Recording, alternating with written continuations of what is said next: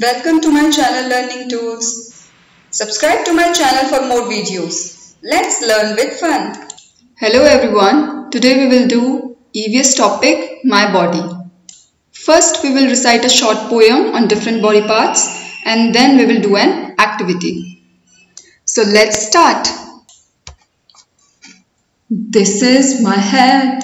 These are my toes. This is my nose to smell a rose. These are my lips, these are my ears, these are my eyes to see far and near. This is my stomach, this is my chin, this is my mouth to put food in. These are my teeth, these are my hands, and these are my legs on which I stand.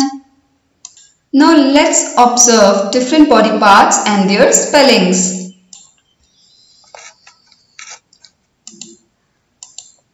This is my head. These are my toes. This is my nose. These are my lips. These are my ears.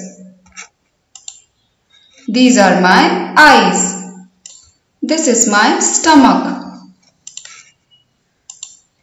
This is my chin. This is my mouth. These are my teeth. These are my hands. And these are my legs. Today we have talked about 12 body parts. So let's revise. First one, head. Second word, toes.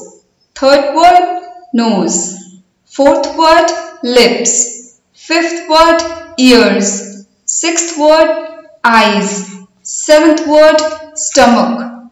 Eighth word, chin. Ninth word, mouth. Tenth word, teeth. Eleventh word, hands. Twelfth word, legs.